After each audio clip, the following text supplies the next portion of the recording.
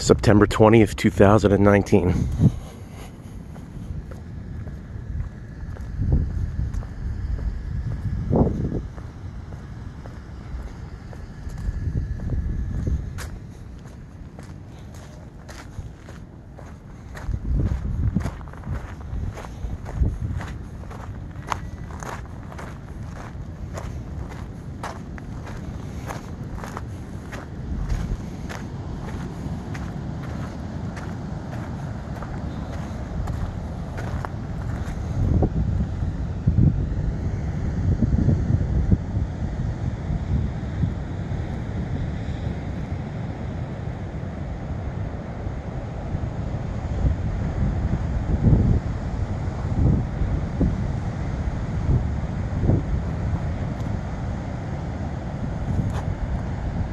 Northwest wind light.